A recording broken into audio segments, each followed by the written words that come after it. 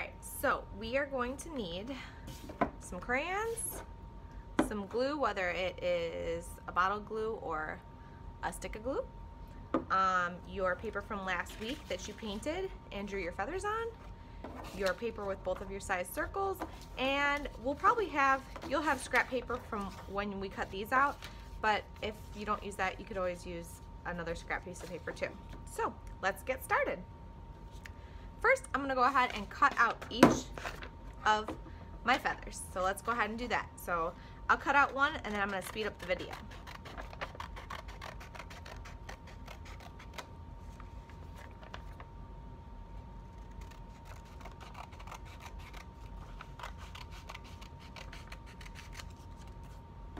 All right, here we go.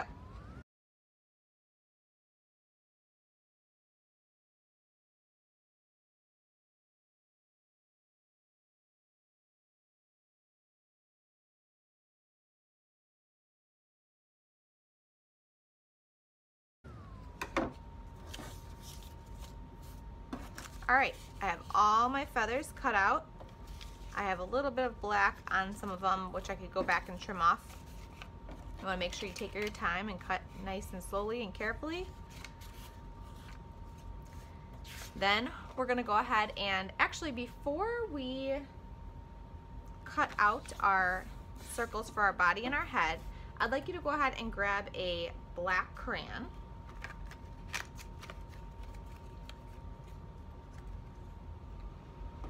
Or dark brown, like a brown one would work too. And we're just going to make like a, think of making an M upside down, so kind of like a W. So you're gonna do kind of like, kind of like that, but we're gonna do it on our turkey body.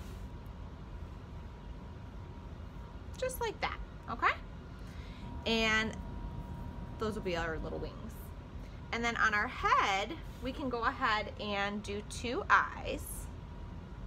And you can make your eyes however you'd like. You can make them so that they're completely filled in like this.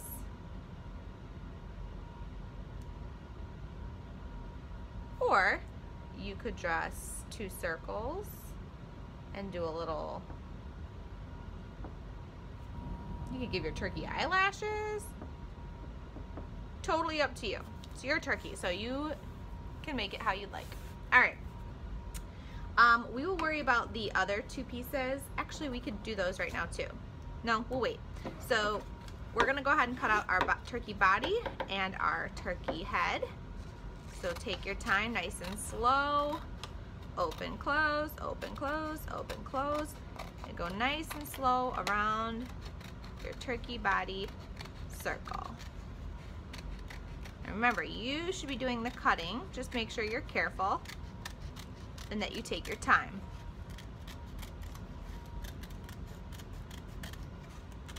It's good practice for cutting. Okay? And our head.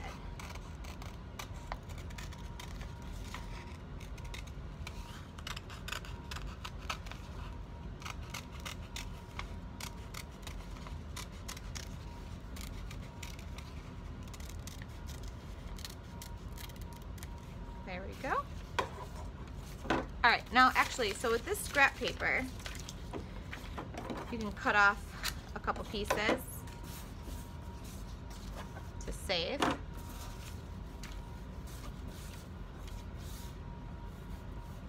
And we are going to draw a little turkey beak and you can use like an orange or like a yellow orange color for that. And that's just gonna be a triangle, okay? So we're going to just do, now think about, remember how big your head is. So you don't wanna draw a huge triangle that's gonna take up the whole turkey head, right?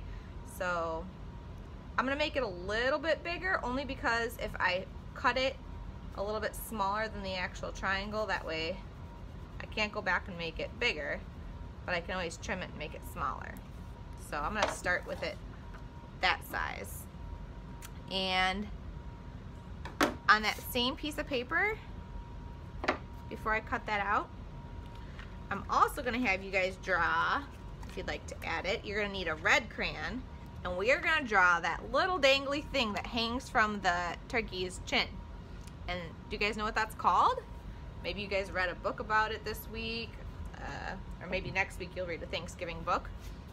It's called a wattle. So it's just kind of a little like wavy thing, so everybody's will look a little different, but I'm gonna start with just a straight line. And then I'm just gonna make it like that. Okay, you do wanna make sure that you make it wide enough so that you can cut it out. Because if I just do a little thin line, it's gonna be too skinny. And then I'm gonna color it in red.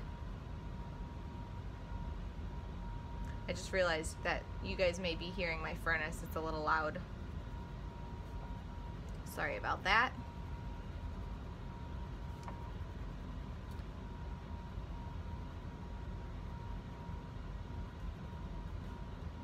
Right, there we go. Now we can cut out our little turkey parts. So you can cut out your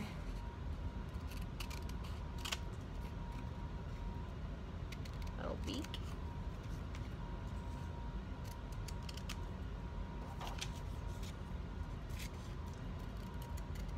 And a lot of times students have a hard time drawing the wattle, but it's just a little wavy line. You can look up pictures of um, a real turkey if you want to and look at that little wattle and use a picture to help you draw it also.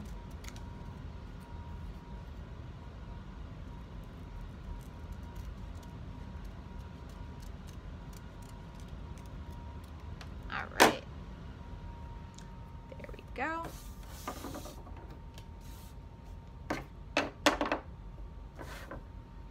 Okay, so now I have my turkey body, my turkey head, my little beak. Now see, it's a little big, so I could make it smaller if I want to. But you don't have to. All right, now we're gonna get on to the gluing. So, you're gonna have your stuff like this, set up like this, and um, if you're using a glue, actually I'm gonna use a bottle of glue, just in case that's what you're using. And I'm actually going to put my glue dots right here. I'm gonna do one, two, dot, dot, not a lot. I'm gonna kind of smear it a little bit. And then I'm going to put my little turkey head on my turkey body and I'm gonna hold it down for one, two, three, four, five, six, seven, eight, nine, ten seconds. Okay, just like that.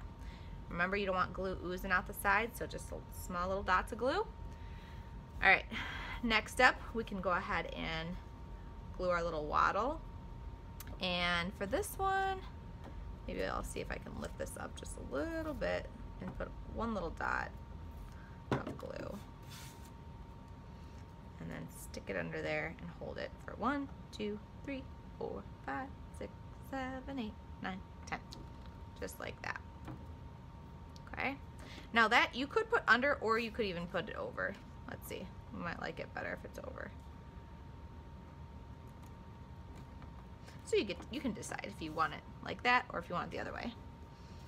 And then we're gonna go ahead and do our little, now this is definitely gonna need just one little small dot of glue for our beak. One, two, three, four, five, six, seven, eight, nine, ten. There we go. And then our feathers. Now, I use kind of a smaller circle. Everybody's circles for their body and their head are gonna look different because everybody's using different things from home. Um, so these feathers are kind of big for um, this turkey, but that's okay. So what I'm gonna do, so when you put your feather under there, you'll see that a couple of the colors are covered up, right? So what I'm gonna do, I have four feathers all together, and you might have a different amount, um, and that's okay, but I'm gonna alternate them. So I'm gonna this one has red up at the top. And then I'm gonna turn this one so that purple's at the top. It's kind of like a pattern. Remember our A-B patterns? So I have A, B, and then which one am I gonna have at the top next? A, and then I'm gonna alternate it again and have the purple at the top, just like that, okay? So for this one, this is gonna be a little tricky gluing. Um, but what I would do is let's see here. Let's start with this one. And we're gonna put some glue right there.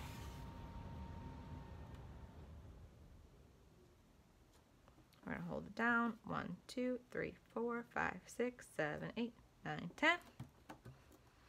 I'm gonna go to our next one. I'm gonna put glue just a few dots.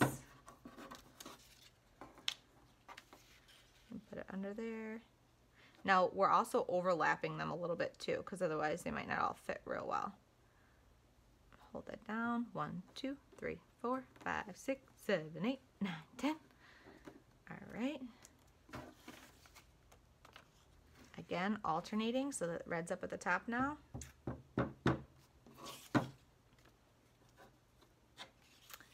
And you want to count with me? Here we go. One, two, three, four, five, six, seven, eight, nine, ten. All right, and we have one more. Now, I'm trying to think. See, even three feathers looks okay. So if you only have three, that's fine. I'm trying to think if I should put that feather there or over here. Hmm. I'm kind of thinking I like it back here better. Hmm. I don't know. Maybe right there. Okay, I'm going to put it there.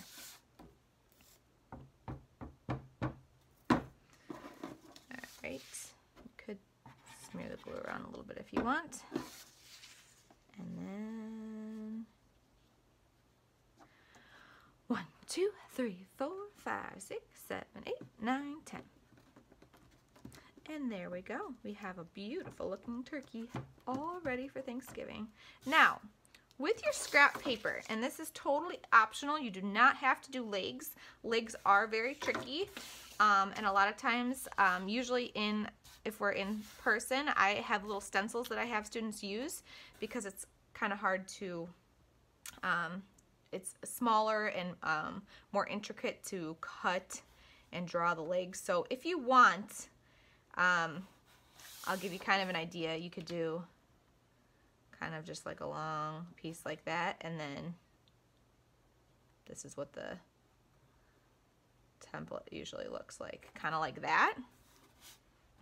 And then if you get one good one that you like you can cut that out and use it to trace another one so that they're exactly the same if you want. Or you can just do two one two different ones that'll be a little different from each other so there's one, and then let's see if I can do the same thing again. oh, this one's already a little wider, I can tell already.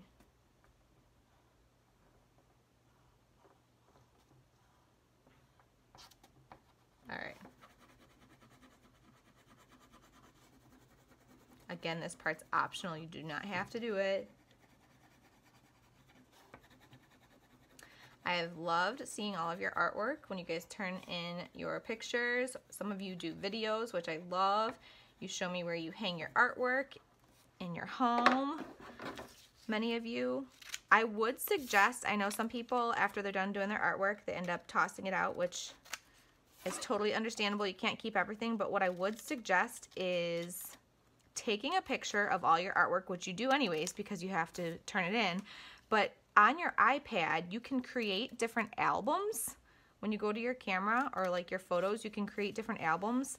And I would strongly encourage you to create a album titled Art where you can keep all of your pictures of your artwork from throughout the year. Because it will be really cool to look back on at the end of the school year um, especially kindergartners always love when I pass their artwork back at the end of the year and see how much they have improved with different things. Um, so I definitely encourage you to do that. If you have any questions on how to do that, I can always help. You just have to email me and let me know and I can set up a Google Meet with you or email you back to show you how to do that. Or create, I could even create like a little video.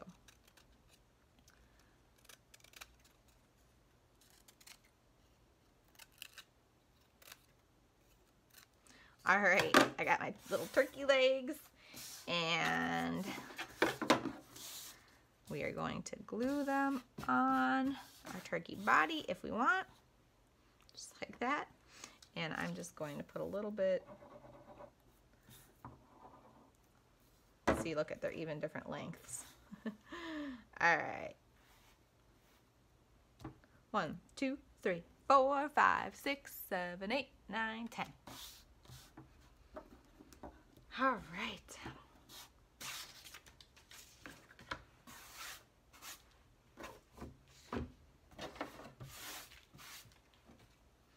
And there's our turkey, our final finished product. I hope you guys have a great day. Thanks for watching.